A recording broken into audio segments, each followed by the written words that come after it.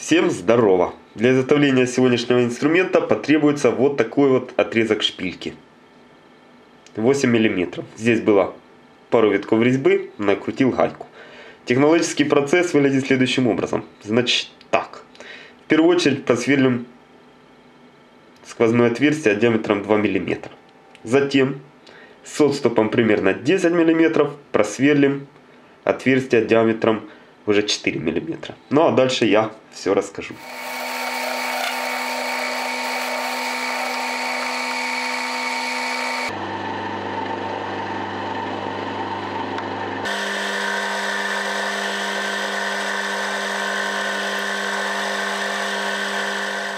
Откручиваю гайку, она нам пока что больше не нужна. Откручиваю супер ключом. Мини-разводной, так сказать. Купил аж за 100 гривен у деда у одного. Нравятся мне такие ключики очень насильно. Теперь перевернем и с обратной стороны сверлим опять же. Теперь с этой стороны необходимо просверлить отверстие на глубину 35 мм. Диаметр 4 мм.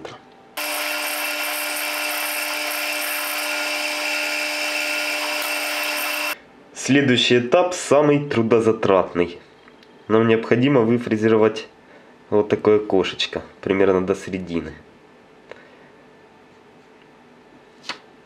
Но ничего, сейчас справимся с этой задачей.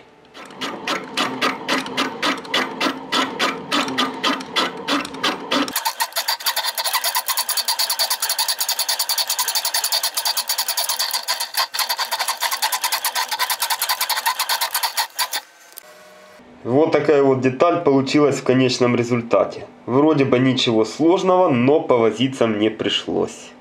Нужно признать. Более того, я вам скажу, одну я даже запортачил. Пришлось переделывать. Но ничего, ничего. Мы пионеры, дети рабочих. Это и к тому, что трудности не боимся. Переделать так переделать. Более того, была нарезана резьба М5 и подготовлена шпилька шпилька с неполной резьбой. И вот так она благополучно сюда закручивается.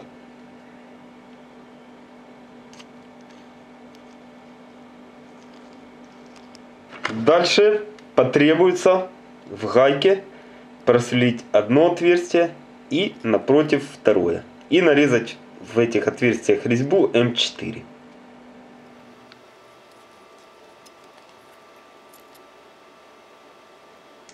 Закрутил гайку с резьбой и теперь очень важное мероприятие. Немного припоя.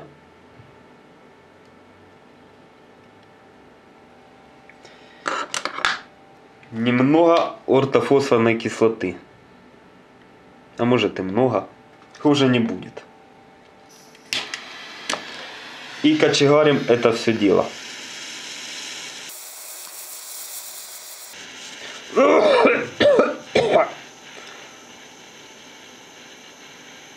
Вкручиваю заранее подготовленный отрезок шпильки М4. И снова прогреваю. То есть таким образом этот отрезок шпильки припаяется, зафиксирует гайку и все будет как бы монолитно. По сути осталось изготовить только ручку для нашего инструмента. Есть у меня вот такой почти кругляк вот такая заготовка. Я не знаю, честно признаться, что это за дерево. Это была вешалка когда-то, в былые времена. В любом случае, это не сосна. Подходит. Сейчас немного обточим и будем устанавливать.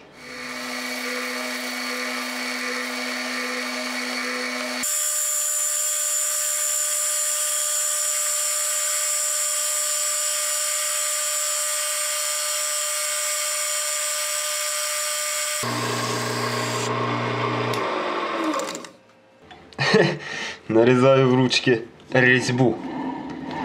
Ну, это в дереве резьба весьма условная. Просто, чтобы лучше зафиксировалось. Небольшое количество эпоксидной смолы.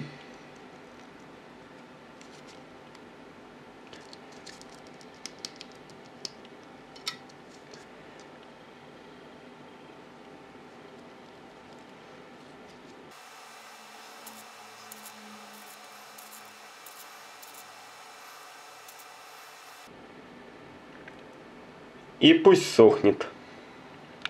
Покрою морилкой.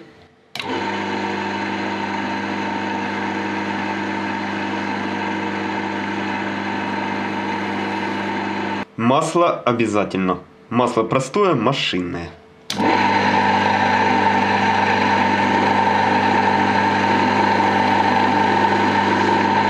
Устанавливаю ручку с винтом. Вот так вот.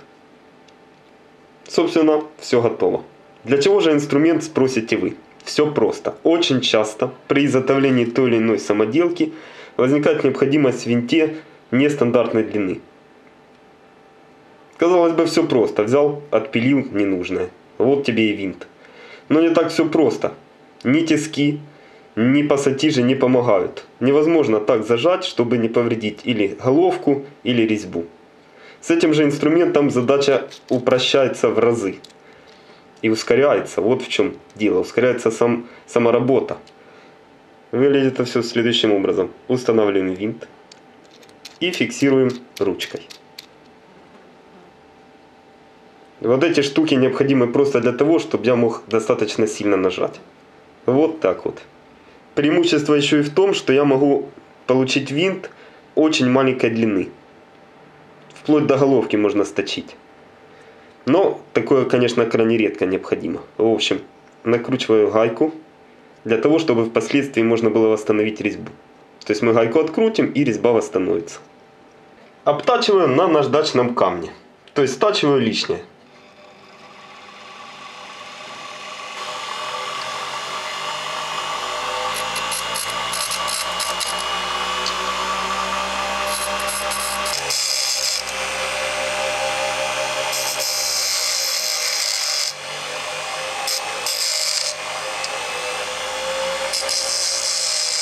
Достаточно.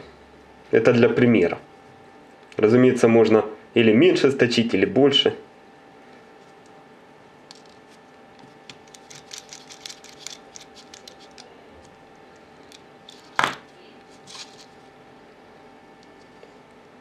Винт до, винт после. Резьба в порядке, торец в порядке.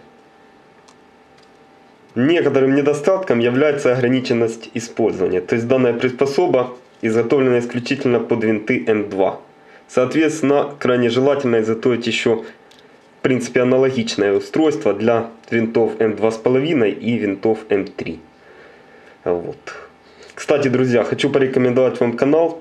Называется он «Мастерская инвалида». Классный канал, человеку респект – уважение троекратное. Зайдите, посмотрите. Да и поддержите в конце концов. Чем нас больше, то есть тех, кто хоть что-то делает своими руками. Пусть иногда удачно, иногда неудачно, но делает, а не сидит на диване и пишет всякую ересь. Вот такие дела. До новых встреч. Пока.